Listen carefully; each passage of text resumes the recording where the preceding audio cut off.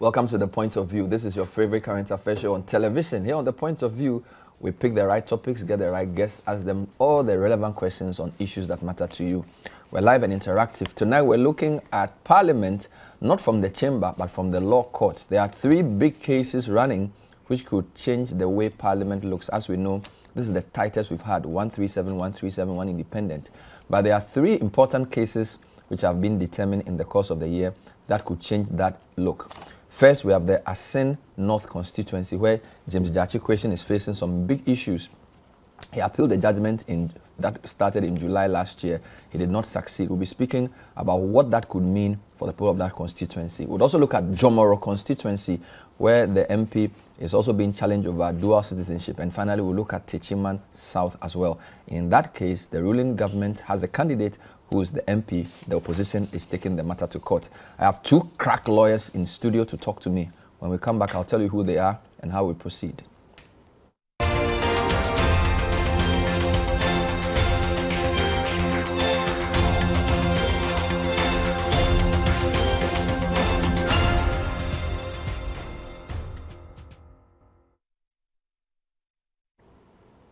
So welcome back. So tonight on the point of view, we're looking at three key cases which could determine the look of Parliament.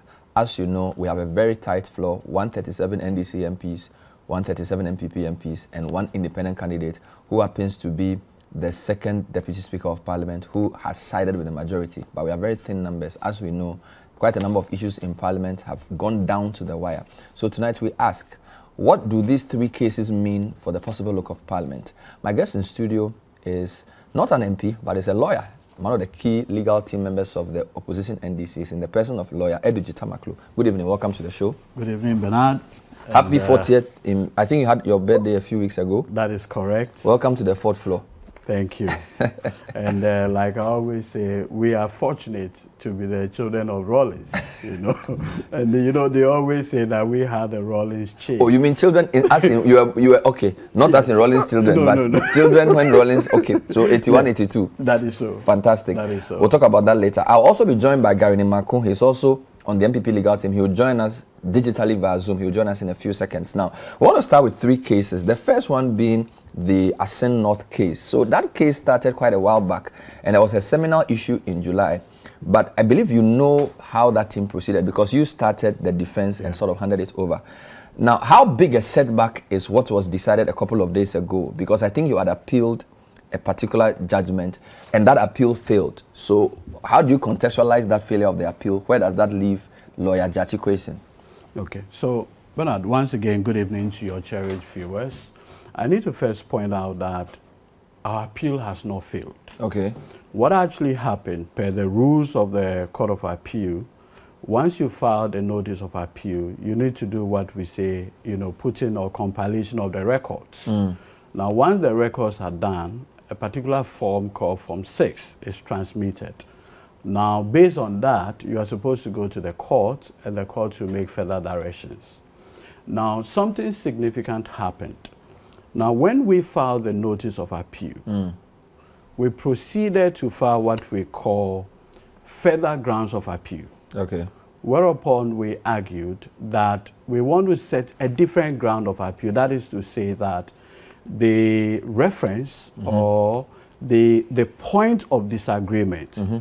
relates to Article 94 mm. of the 1992 Constitution. Mm. And you note that the reference to Article 94 relates particularly to, in the case of Gyakye Quayson, mm -hmm. the question, the key question, whether or not at the time when he put himself up for election, he did owe allegiance to a country other than Ghana.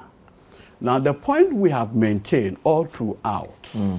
is that from 1992, when this constitution was birthed, mm -hmm we've not had the benefit of the apex courts okay. pronouncing on the true scope of Article 94. Mm.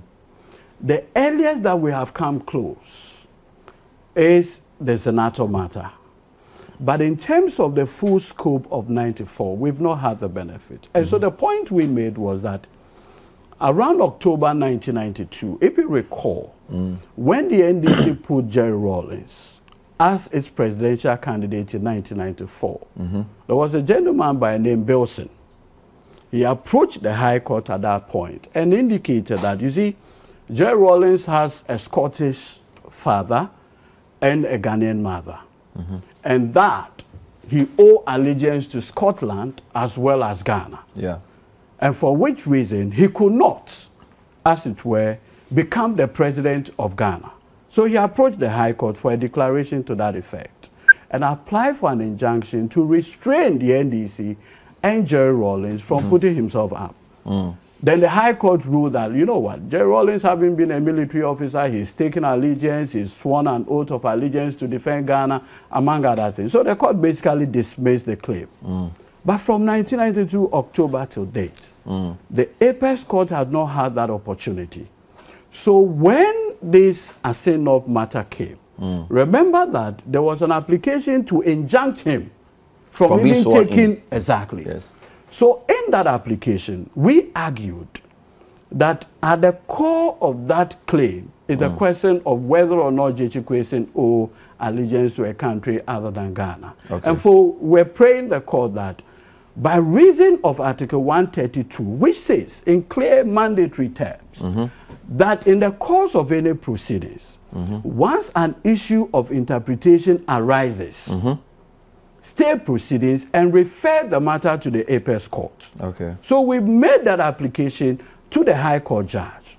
Malene Senior then, uh, Senior Frank Davies, together with Gary, opposed that application for stay and referral. Mm. Then we said, no problem. So he was injuncted, you remember? Yes. Then the substantive matter, when it came for what we call setting down the issues for trial, we again revisited the question of staying proceedings and referring that constitutional interpretative matter to the apex court. Again, okay. it was opposed. Mm.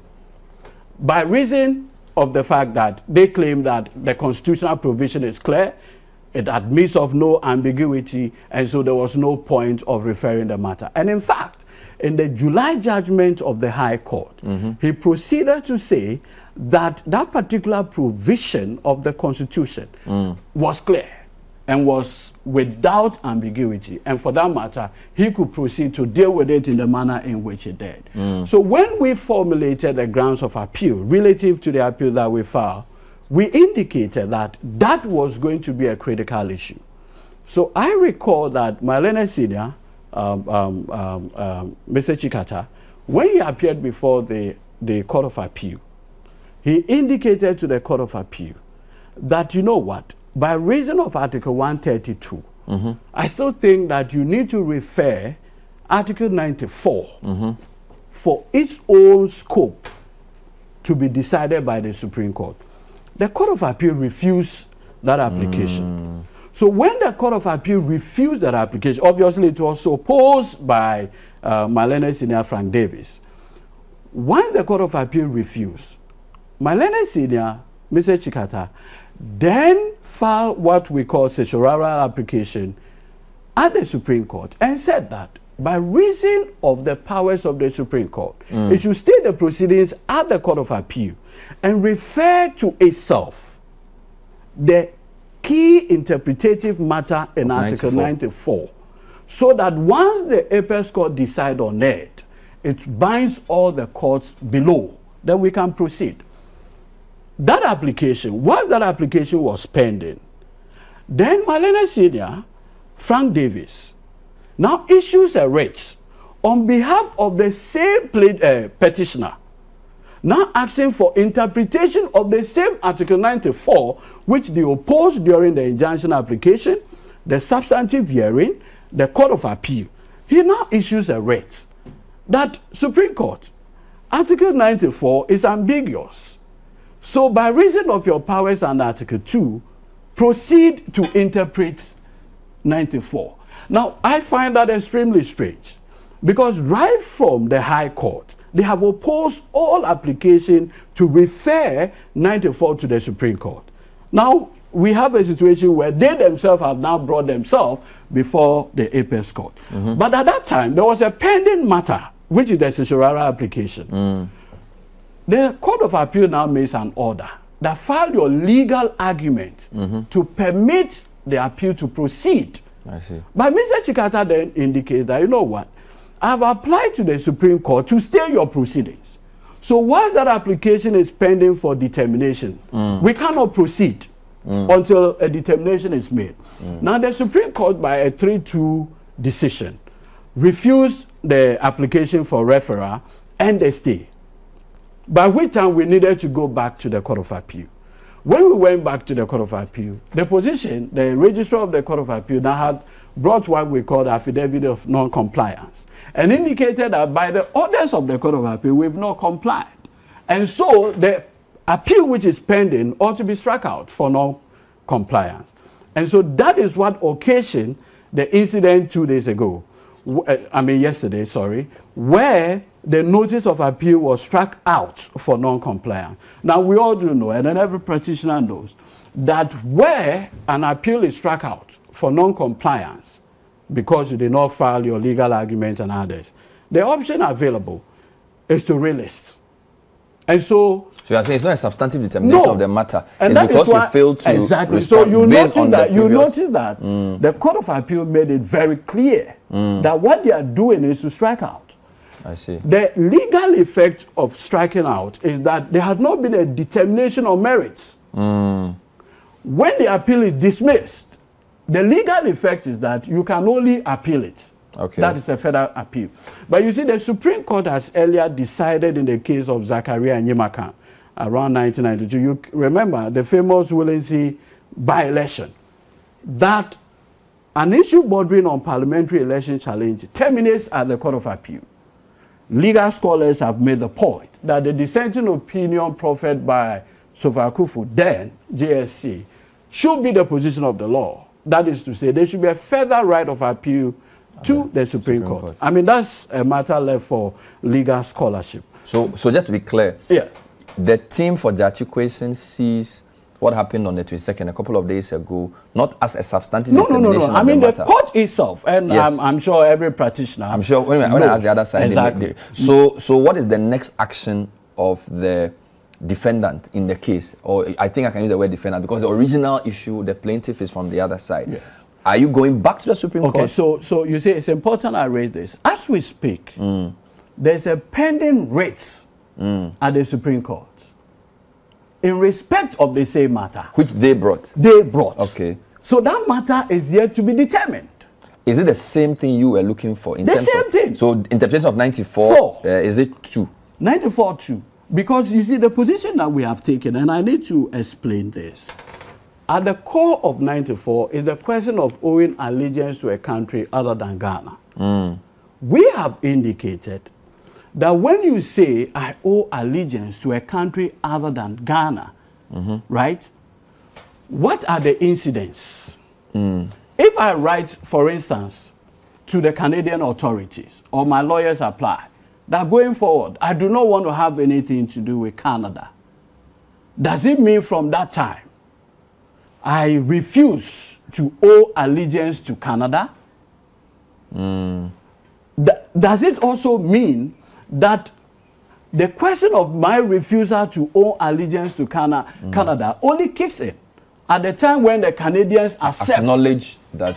I get your point. so we have made a point that we have applied much earlier because you see something happened and I, I need to explain it. In the specific case of Gyakye Quayson, when he became the NDC parliamentary candidate, he caused the uh, constituency chairman of Assin North to do an application, a write-up, more like a letter, accompanied it with an application to the Canadian authority that having become the NDC parliamentary candidate, I cannot proceed to be a Canadian citizen.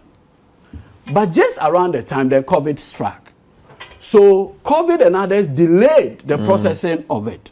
So eventually, the certificate of renunciation came on the 26th day of November 2020, by which time he had filed nomination. However, concerned citizens of Assin North filed what we call a petition against him. That we are aware that this man is also a Canadian citizen. So electoral commission disqualify him from contesting the election. Mm-hmm. Now, when it happened, the Electoral Commission mm-hmm. headquarters invited Quayson to Accra and said, This is the petition that we have. What do you have to say to it? He then provided a certificate of renunciation by, because by that time it, it had come. come. Presented it. Then the Electoral Commission then qualified him to go ahead. Which is why the plaintiffs are also challenging the EC's exactly. Uh, actions. Now we are saying that the independence of the Electoral Commission obviously has been upheld by several judicial pronouncements. Mm. So if the Electoral Commission is minded to say that he was not qualified, they would have said so. Now, for the Electoral Commission to accept the certificate of renunciation and now proceeded to allow him to contest, it lies foul in the mouth of anybody. So that is the interpretation we had put. I see.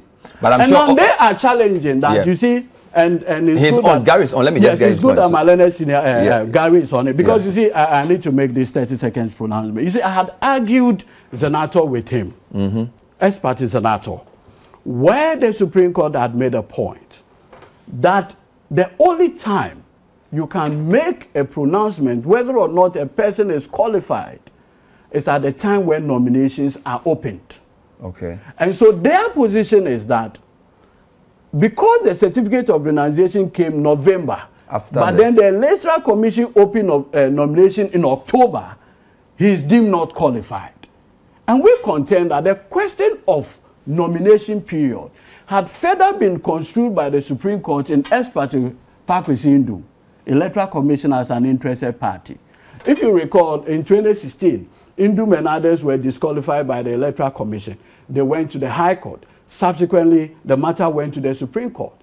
And her ladyship, uh, you know, uh, Sophia Adinyira, make the point that the question of nomination period is expansive because the Electoral Commission is given the opportunity to vet mm. nominations among other things. So that is what we have said. And I get your point fairly. Right from the beginning, we have said that. So you are basically saying that this is not over yet. No, no, no, no, no. We are. Let me just see whether that's what the team on the other side thinks. Gary well. Nimako is the a member of the legal team of the NPP, and incidentally, he's been he's on almost all these cases. Yes, yes, yes. So yes. he's very familiar In fact, I've been, you know, you've been sparring this, with him uh -huh, in court on this matter. Gary, thank you for joining us. Good evening.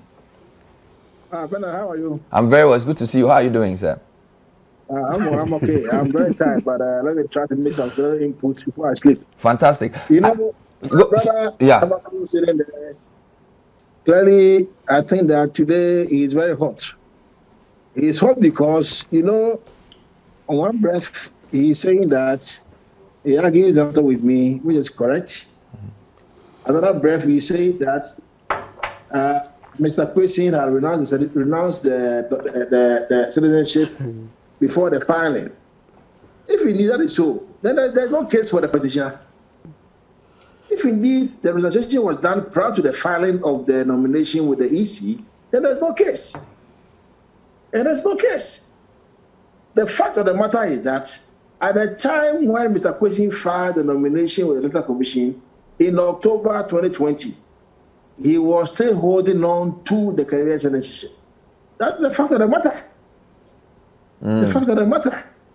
So, if you look at the date when the certificate was issued to him, that was on 26 November 2020, just before the elections. Clearly, it means at the time when he filed the nomination to contest, mm-hmm. and indeed he has said that he was only a Ghanaian citizen, and at the same time he was only a, a uh, he was he had renounced the citizenship. Yeah. He was still holding the Canadian citizenship. So you see, these are very bare facts that mm. my brother Tamakloe, you know, he's a, he's a very honest man. uh-huh, he's a very honest man. But sometimes he tries to play the propaganda. You know. I see. The bottom line is that the MP, that is uh, Mr. Quayson, when he filed the nomination with the EC, he was still holding on to the Canadian citizenship. It's a fact that nobody can deny. It's a fact. I see. And you see, these are all the documentary documentary evidence. Mm. This case is about documentary evidence. There's nothing about anything about oral or parole, parole evidence. Mm. So whatever you see is backed by documents. I'm telling you on evidence or whatever it is that on 26 November 2020, that is when he had the certificate of organization. Fair so enough. Clearly. I just wanted to get a point from you. The appeal of judgment annulling the parliamentary election, this appeal that was sort of thrown out, for you, is that the end of the matter? Because his interpretation of that is that it was purely because of non compliance and that the, the substantive matter can still stand. And in fact, he's telling me that your side has actually asked the Supreme Court to interpret 94 2 as well, which was what they initially wanted to do. So the victory you have is not substantive yet. The, the battle is not over. From your side, do you think this is a done deal? For which reason we should be lacing our boots for a by election? Well, let me say that uh, the rules of court, as it stands, you will have to comply. And my brother understands that when the court gives you some days to file written submissions within a period, you ought to comply. If you don't comply and then struck out, yes, you may want to release, but releasing is not out of out of rights. When you release or you want to release, you come with, with the leave of the court to release. The court may grant you leave, the court may not grant you leave. If the court, the court grants you leave, that is fine, you can release. Mm. The court does not grant you leave, it means that that's the, end, that's, the, that's, the end, that's the end of the day. Because you see, it is very clear that when they file the processes at the, at the, at the Court of Appeal, mm. with the subsequent and all the antecedent matter they were filing at the, at the Supreme Court and other places, you realize that they were not interested in filing or dealing with the appeal itself mm. at all. Because why? You have filed an appeal, notice of appeal, and then subsequently you file for stay of execution. Mm-hmm. Subsequently, you now file for uh, uh, application for leave to file additional account of appeal. Subsequently, you file a matter for uh, you know, some, there's some, some applications. But the question I'm asking is that why were you not interested in pursuing your appeal itself? So it's not out of rights that once you've been thrown out or struck out for non-compliance, you can just come by way of as of right. No, you have to go to the court to show cause mm. why the court must allow you to file the appeal again. Mm. So that's not a done deal. But just to be clear, have you asked the Supreme Court to interpret 94 to yourself? Has your side asked have, for that? We have, we, we, we have, done so because they went there first. We also went there. They went there first. We also went there. Has the Supreme Court adjudicated on that yet? Well, it's not yet completed, so we'll all wait. That's why I, I will I would have preferred that they they themselves wait. Let us all stay in Supreme Court. Mm. Let the Supreme Court decide one way or the other. If the Supreme Court says that well, 94 is in pari passu with uh, Senator Admiral Rawlings, as my brother just indicated. Then we are home and dry. So that is the, the that's the substantive otherwise. matter we are waiting for. When the Supreme Court pronounces on that, all the lower courts will just align. So basically, exactly, that's exactly, the hurdle. Exactly. So, so my point is that the, the, the, the battle is not over yet. It, it's not over. You know, you know, NDC, NDC, NDC uh, they have lawyers who, who can just file papers just to procrastinate, procrastinate the matter. They just file papers and file papers. You know, you know, Thomas was in there. I know him. He's a crafty boy. he will, they will file the papers and with their chief architect, uh, uh, Mr. Tigata, a senior lawyer, they keep filing papers and filing papers and filing papers and filing papers. It's all part of the practice. I'm not. I'm not saying that you're wrong. But I see. see the end, mm. the end, we should all understand that justice one day, one day to come to an end. Fair enough. See, mm-hmm. Let's understand one fact. The bottom line is that you know very well that at the time when you were filing with the EC, you knew your status when you were filing with the EC. You knew it. You knew it. So, Yet they are pushing you mm. and pushing you and pushing you.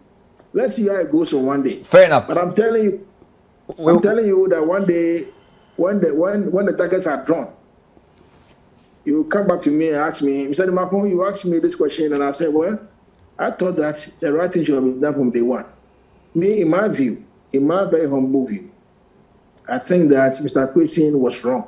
I see. From the very beginning. I, I, I, to what? the extent that, to the extent that, to the extent that, to the extent that, which is, listen to me. Mm-hmm to the extent that I have seen documents that he himself signed.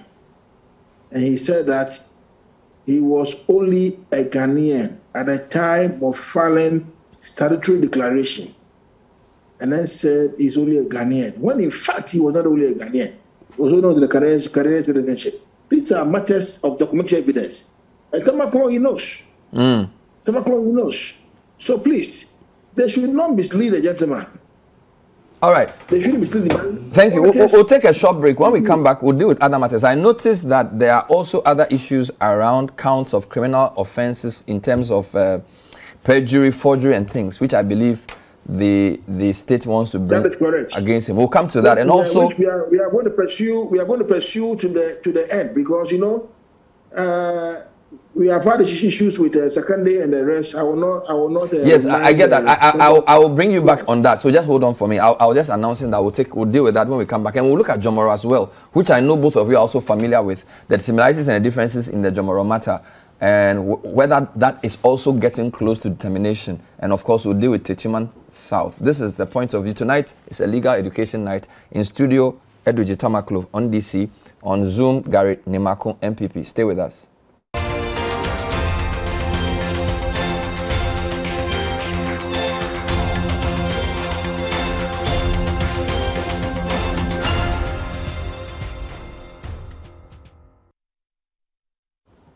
Welcome back to the point of view. So tonight we're looking at the legal issues pertaining three seats. We have the Assin North seat, we have the Jomoro seat, and then we have the Techiman South seat. My guest in studio, lawyer Edudzi Tamakloe, NDC legal team, lawyer Gary Nimako via Zoom, NPP legal team. I don't think we should spend all the time talking about Assin. I think we've done enough on Assin. No, no I, I, I just wish that, let me just um, respond to, to a, quick, a quick rebuttal, yeah, which I believe rebuttal. you also rebut. Yes. well, let's go. Yes, and uh, first is the reference to the Adamu Dramani Sakande matter. Mm. I think that it's important to raise this point. and I've mm. heard a lot of people draw a certain parallel with mm. the Sakande matter. Mm. With the greatest respect to his memory, obviously he's dead, and um, I, without you know trying to invoke a certain memory. I wish to point out this. As at the time, mm.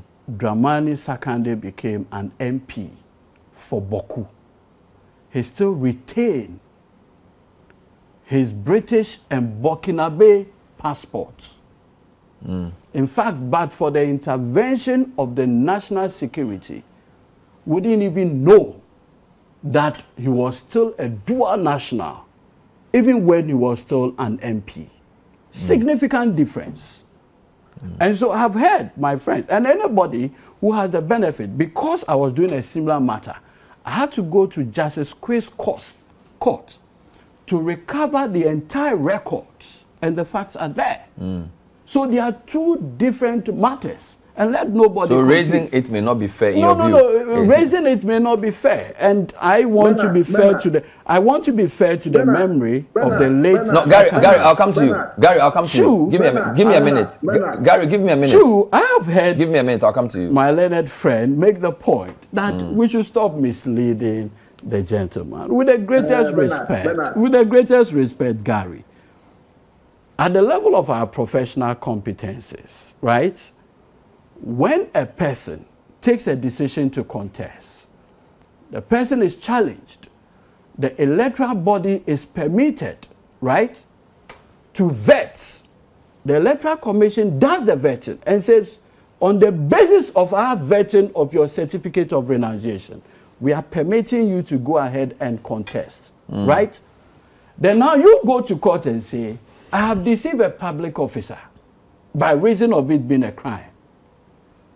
And the complainant in this case is not the Electoral Commission, who is supposed to have been deceived. now you go and pick your Central Regional Secretary of MPP as the complainant. Has he been deceived? Are you saying he doesn't have capacity? Has he been deceived? He's a member of the public. He's I in agree. a, constituency. But He's, the decision has affected him. But how? The decision was to the Electoral Commission. The Electoral Commission said we have received a petition in respect of you. What sayest thou? At least our Lord and personal Savior, Jesus, had the benefit of confronting his accusers. Yet the Electoral Commission did not act as Pontius Pilate. they decided to vet his certificate of renunciation and said, go ahead. How come that the electoral commission is not the complainant if they were in fact deceived? I mean, how So your point this? is that this criminal case is trying to say that No, you see, look, you see, at the point, and that is the difficulty I've always had. Article 88, prosecutorial powers, is vested in the executive. Now, this is an executive arm which is challenged in parliament. And so, as part of the tools available to the executive, is prosecution. And we all know that the prosecutorial powers of the attorney general can be weaponized for political mischief purposes. That is the situation that we have. And my learned friend, Gary Nimaku, is fully aware. And you heard him say, we are going to persuade this matter to its logical conclusion. What is his interest? What exactly is his interest? So you in saying that matter? if somebody should feel aggrieved, it should be the EC. And this elite, he cannot say they were aggrieved because they had a benefit. Good. Let me take his quick comment on that and move on. So he says Dramani Sekande is not uh, a comparable situation. Just quick response. Gary, yes, you are on. You see, you see, you see, my brother is very hot. Ah, He's very hot. You see, he's forgotten that the decision that uh, that uh, was taken by the Supreme Court in a case I conducted with him on the other side, uh, the, the, the Supreme Court made it very clear that when the EC opens nomination, Article 94 kicks in, all qualification criteria it kicks in. Is it forgetting all those things on this on your show now? That that this is a, different case. How is a different case? On one breath, he was happy on the other time when they were doing the of my Rollins. Today, now he's not say- saying that, oh, no, no, no, no, no, no. It doesn't apply now. Please, it applies in private person. You are laughing. Don't laugh. Don't laugh. You see, don't laugh. you know, the interesting thing is that, uh, uh, Bernard, you know, myself and Gary, we have a long history. You know, in Zanetor, Bernard. we both argue Zanetor at the Supreme Court significantly. So we are No, quite Gary's familiar. on. Gary, go ahead. Gary, go on. Go on. Go on. Bernard, listen to me, please. Go on. The bottom line is that the bottom line is that all qualifying criteria will kick in at the time EC opens nomination to, mm. for filing. The question is, at the time when Mr. Kwesi Fa had he renounced the citizenship of the Canadian citizen, is it yes or no? If the answer is yes, there is no case. Okay. If is no, Let- it's a case. That's the point. What about this? not- it is not- What, what about this? It is not at the time. What about the second leg? Sorry. The second leg of the prosecution that he feels the AG is weaponizing prosecutorial powers. No, no, no, no, no, no, no, no, no, no. The Attorney General, the Attorney General is doing a very good job. One. One. The Attorney General, the Attorney General having been seen with the facts of the matter, having been seen with the evidence of this case, is realizing that look, at the time when you filed and you said that, and but listen to me carefully, uh-huh. please. I have seen all these documentation with my eyes, my ocular eyes. Look at my eyes, ocular eyes. now, I have read all these papers, okay? And Attorney General says that, look, at the time when you were filing with the EC, at that time, you said you were only a Ghanaian. And you did a certain declaration. And in that declaration, you said that you were only a Ghanaian. And yet you were holding to your Canadian citizenship. And look at it, look at the, the dates. Mr. Question filed with the EC between 5th of 5th to 9th of October. 5th of 2020, 5th of October 2020. However, he obtained the citizenship for representation on 26th of November 2020, before the elections. Question At the time when you were filing, were you a Ghanaian fully and fully, or you were still holding to another citizenship? The question for the court to determine. But on a matter of fact, clearly you will see that, hmm. as I'm telling you, when he was filing, he wasn't holding on to it. All right. Now, NDC argument that when you put in argument for certificate of organization, it should be deemed that you are already, the intention is that, oh, you want to renounce, so you are finished. Forgetting that under Canadian law, you must have been able to go to the process okay. to announce. You see, let's Bernard, move. Let's Bernard, move to. Let's Bernard, move to. No, no, Bernard, no, just no, 30 no, seconds. You see, we no, are not. 30, no, the case seconds. is not finished. No, let's Bernard, move to no, 30 seconds. 30 mm. seconds, so that he can respond. You see, Bernard, if you look at the representation of the people's law, mm. PNDC law 284. You will tell session, you, you see, you will, no, hold on, hold on. Before, before sessions election, 20, election. sessions 21D. Let me just read. Grounds for quality, grounds for cancelling election result D. Mm -hmm. that the candidate was at the time of his election Election. a Elections. person not qualified mm. or Mr. a person Mr. Mr. disqualified for election at the time. So you are talking about the election law. When was the election held? Of course, it's, it's December. He had a certificate of renunciation where 26. so I am saying that you cannot pigeonhole the argument. Laws are read as a whole. Mm. You need to read the laws, our electoral laws, as a whole. And I'm saying that by reason of the representation of the people's law, and which is familiar with, Section 20 says you can cancel an election if at the time of the person's election he was not qualified. That is part of our law. I see. Section 20 has not been declared unconstitutional, and he's aware. No, no, see, Mr. Able, Mr. Able, my brother Tamaklo understands very, well that, uh, you know, the Constitution of the Republic is the superior law of the land. And the Constitution of the Republic is what he used. He used the same Constitution of the Republic to argue ex parte senator. Ask him whether Section 20 was dealt with in Zanato. Ask him. Mr. Gary Nimako, in Zanato, Sections 20D of the representation yeah, of the people's time, wasn't dealt with. Exactly. So you cannot, and that is why I'm saying that it is only proper that the electoral laws of this country are construed as a whole. You don't pick and choose what you want because it mm. is convenient okay. today. So, so, so, Respectfully. so you see, you see, you see, uh, you see, Mr. Mr. Sky, it's a simple matter let us allow the Supreme Court exactly to deal with this matter as they have taken it there, which you have taken it there, that the court did deal with it in an expeditious manner, one way or the other. So we'll see. I agree. Whether whether whether they are right. Okay.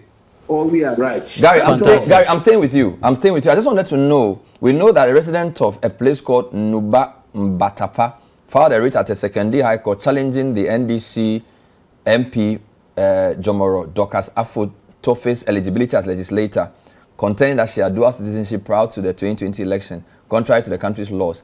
From your perspective, is this a similar issue with the one we just discussed, or are there any fine lines of difference? I believe non-lawyers so are watching. Case, we, we, we want case, some, some quick case, education. I believe that case, I believe, you know, the lawyer sitting there is the same lawyer conducting the case.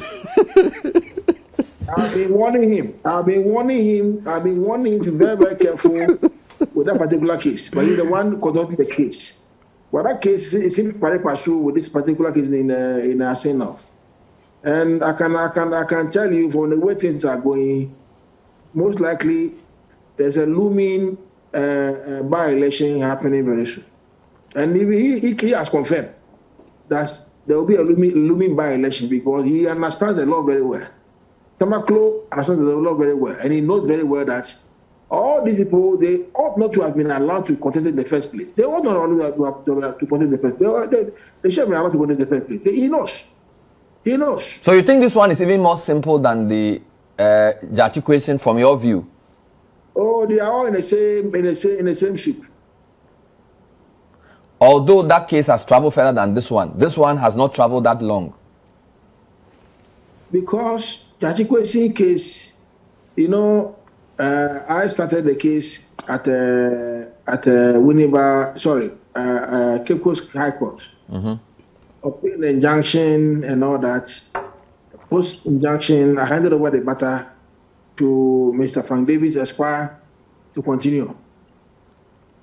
Basically, I'm telling you, having reviewed all the files, I've reviewed all the files and all the election petitions, from Jomoro to to to Assin North, Techiman South, uh, uh, Sabuluku, and all the cases. I reviewed all the all those files. I'm telling you, the file that Tamakloe is working on is in pari passu with the same file as uh, Assin North. I see. Is that the same view you hold? Not at all.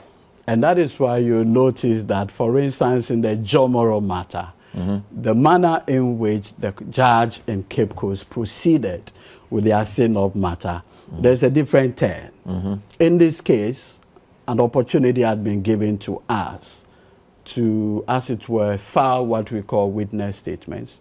So witnesses will be called, their testimonies will be tested.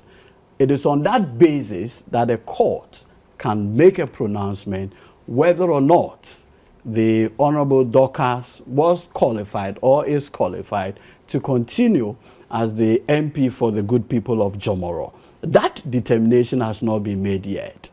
And like I always point out, if you look at the manner in which the High Court judge proceeded with the Assin North matter, it's a different manner in which this. Remember that we are dealing with Canadian law on citizenship. We are dealing with Ivorian law on citizenship, completely different. The mode of renunciation and what have you are completely different. Significantly, my learned uh, friend uh, Gary is not involved in that one. I'm doing that one with uh, my senior uh, Frank Davies and uh, Bright. And I mean, we are proceeding in a very beautiful manner. Mm. I do not want to. But you, you are optimistic that your, your, your, your client to have success? So far, we, we, we, we have put a very good case, and that is why we are going on the merits. All right. Let their witnesses come, we will test. Our witnesses will equally be tested. Mm. The judge ultimately will make findings of fact we'll All make right. pronouncements on we'll, the merits. We'll, we'll take a short break. When we come back, we'll see if we can touch briefly Techiman South. I know both of you may not, one, yeah. you are not directly, but he's probably involved as well. So this is still the point of view. Gary, thank you for staying. We'll come back to you. We're trying to understand all the legal gymnastics as Parliament also takes shape. We'll be right back. Stay with us.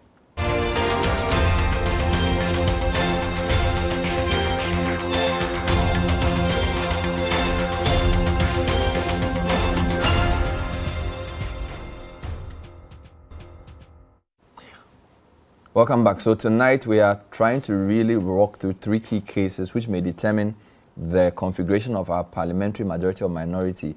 We've dealt with uh, Assin North extensively. We've dealt briefly with Jomoro. We will spend the last few minutes looking at Techiman South. And on that case, I know Gary is keenly involved, but that case was brought by the NDC, yes. I believe, because they are not even talking about citizenship or anything. They're talking about how the coalition was done and the numbers involved. What is your quick understanding of what the NDC is asking for in Techiman South? No, we are basically saying that if you look at the Techiman South conversation, mm. it's about collation. Mm -hmm.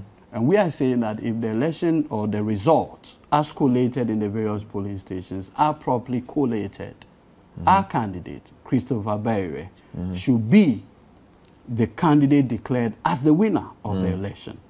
Thankfully, we are before the judge at Wenchi, and our witnesses are being cross-examined.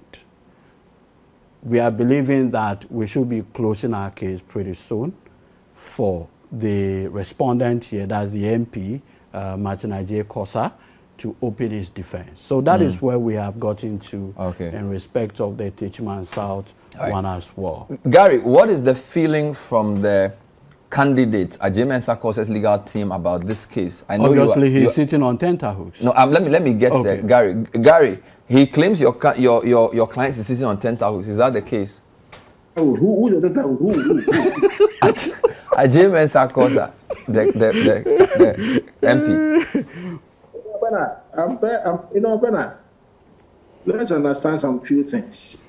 Number one, Martin Korsah's case in uh, Techiman South.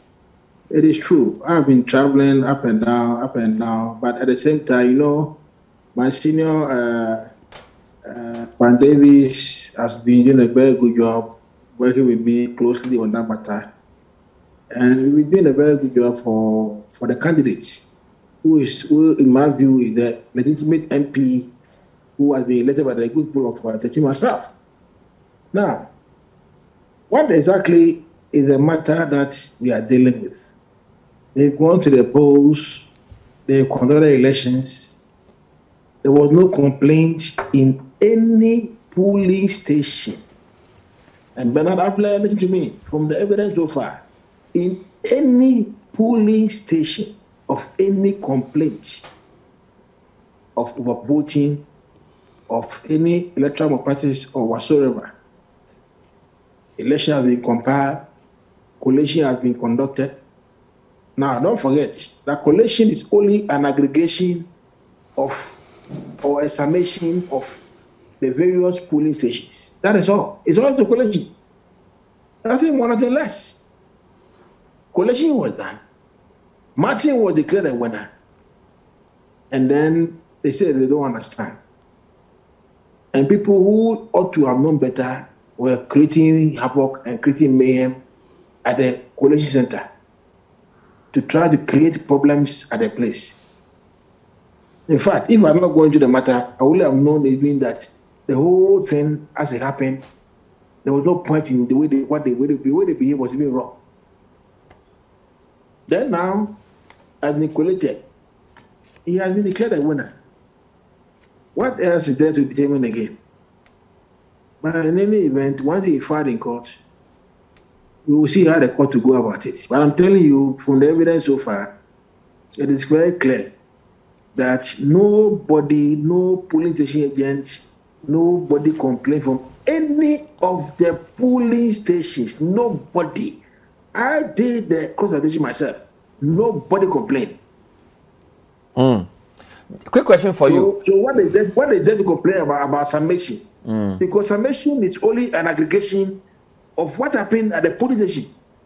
Yeah, but there can be a, a there can be a, a, a, wrong summation. So there can it's possible for the, and I'm not necessarily oh, defending. It's possible to have it's possible to have accurate figures from a polling station which will be wrongly collated, is it not? But I think it's a wrong summation. It's a wrong summation. You only go back to the, the root, which is the the polling station itself, and then begin to add up and see whether what the polling station vis-a-vis the summation it is wrong or it is right. So far, everything is tallying. Mm. So what is the case at at at, at myself? That they they they allow they are making me travel up and down, up and down, up and down. They are making uh, you. Tra- knows that he's worrying me. he knows very well, but he's not advising people to, to stop this case. Okay. Look, I told him, and I told him when they're quiet. I said, look, Tamakudu, the people should give us I say enough because that case it is wrong.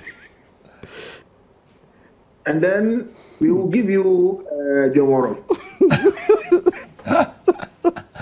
Are you doing horse trading outside the court procedures now? Is that what you are saying? Well, not because you know because I know very well that I say enough. Whatever they, whatever they do, you see. Let me tell you something, uh, Mr. Amle. Mm we as lawyers, we know when the case is bad, your case is bad. But you know what the case is bad, you know what the lawyers do? They employ the late artists. close in there, he knows very well. There are seen enough case, it's a very bad case for them. He knows very well. He knows. I'm not prejudicing that he knows very well. And I mean, I'm telling you that look, from the information I received about the Jomoro, whatever they call the Jomoro case, whatever. I hear that the Jomoro case, even when we win the court case, the candidate probably may not be good for us to win the ultimate outcome of the whatever. That's what I've been told. As whether the facts have changed on the ground, for now, mm. I don't know. I'm so, so, so you are, there's, there's legal calculations and political calculations. So I'm, saying, I'm so I told them that look, the bottom line is that they have to leave as enough for NPP because whatever it is, like that case, they know very well that what they did was wrong. Because see, if indeed the candidate obtained the certificate of organization on 26th of, of November 2020, and did and did a, a, a what do you call it a, a, a, declaration that I was only a Ghanaian citizen as at as at uh, October fifth, twenty twenty. Ah, Mr. Abdullah, please tell me. Mm. Even my, my, my, my, my daughter Kayla, come here. Ah. Kayla's standing here. You can tell them that they are wrong or All right, let's end. Let's let's let's end on so a final please, question. So have, please, so please. A, the, the matter is very simple. I have a final question simple. for you, for both of you quickly. Understand that what they have done, they are wrong. That is that should be fair enough. How, how optimistic are you that these matters can be determined in time? Because when I was in university, there was a famous case of Ayawaso West Wuogon where even Azikamu, yes, where George Azikamu, and, uh, even Rebe though he won Rebecca the case. Rebecca Adote had spent four years in parliament, and even though Azikamu won that case, Eventually, he spent four years fighting the case. so my question is, how sure are you that the system will, will dispense with justice expeditions? maybe, maybe just uh, in court matters. In court matters, me, and, me and my brother, we are not judges, so we cannot decide. Mm. We cannot know where the matter will end. We cannot know. Mm. It's not possible. But you can you can determine how it ends by the way you conduct yourself. Both um, of you. Yeah. Okay. So, for instance, oh, no, in uh, no, Jomoro, you can push the matter expeditiously, but as how how it to end, you will not know. Because you see, you can go to court thinking that you have an iron cast case. Mm. But you may lose. I get. Yeah, yes. So, so like uh, rightly pointed out, if you look at the Jomoro matter, for instance, the judge has been clear mm-hmm. that expedition is required, mm-hmm. so that ultimately the better person gets to represent the people. You will not waste so time. At the core of it is the question of expedition. Okay. If you look at the other cases, I mean, like Techiman South, witnesses have been cross-examined. Mm -hmm. That tells you the speed at which the judge really wants to resolve the matter. Mm -hmm. So if you look at overall, the skill sets that have been employed by the judges so far is to, as it were, organize the processes in such a way that you conclude. But like he rightly pointed out, how I proceed is a different matter. Remember that as sin of the judgment was given in July. Mm -hmm. We are still not done with the determination of the appeal. Mm. So, Techiman South, a decision may come, they want to go for an appeal.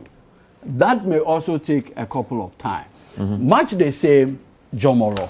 So yes, lawyers would want these matters concluded as quickly as you can, mm. but it does not always operate the way you would like it. But like I pointed out, we are in a situation where the dynamics, the numerical strength in parliament had put our brothers in the NPP on the edge. Fair enough. And obviously, they are deploying all the tools, including executive powers, mm. to ensure that they change the dynamics in parliament. Regrettable as it is, we are equally up to the task. We ensure that at the end of the day, we protect the seats that we have genuinely won. Like 30 seconds, he said that, oh, maybe we may want to do a swap, Jomoro or this. But do you know that significantly, as enough, assuming without admitting that the court even says that the Jeju is not qualified. Do you know that if the Electoral Commission opens nomination today, he will be deemed qualified because now he had a certificate of renunciation. And I've told Gary that is a cost 90 fight because this is a gentleman who won the seat by over 2,000 votes. First time. All right, thank you. And he's aware. We'll leave it here. Thank you, uh, Edudzi Tamakloe, NDC legal team member, Gary Nimako, NPP legal team member. Thank you so much for giving us this uh, privilege of listening to your site. We will be following the cases and hopefully we'll learn what happens. So that's all we have time for for tonight. We've been talking about the three cases that have to do with parliamentary seats. My guest in studio, Gary Nimako, was on Zoom. Edudzi Tamakloe was in the studio.